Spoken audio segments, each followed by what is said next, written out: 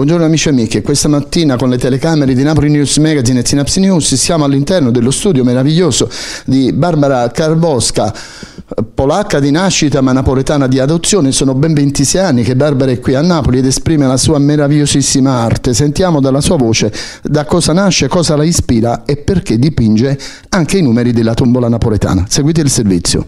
Barbara, buongiorno, innanzitutto grazie eh, per averci ospitato questa mattina nel tuo bellissimo studio, devo dire molto molto molto affascinante ma anche molto particolare.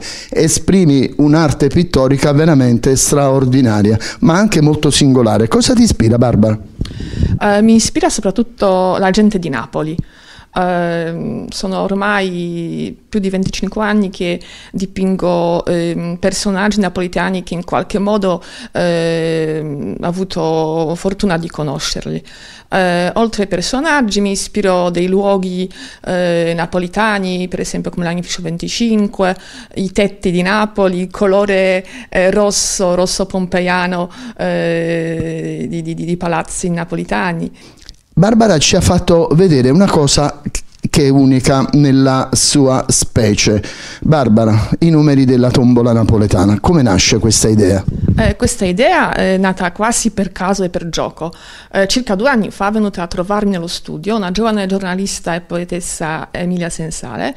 Dopo intervista lei ha desiderato di essere ritratta da me.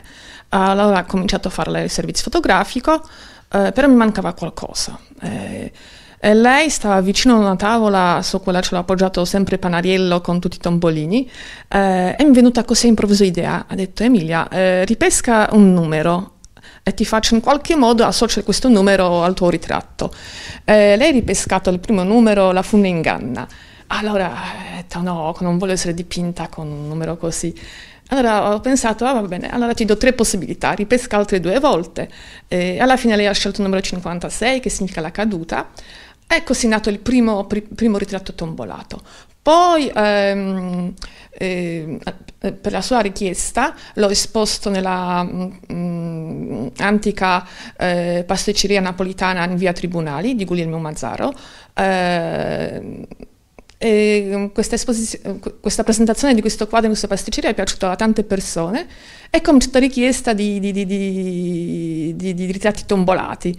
Solo, non solo numeri, non solo estrazioni, anche meravigliosi centrini eh, da tavola dell'antica tradizione napoletana, ma non solo.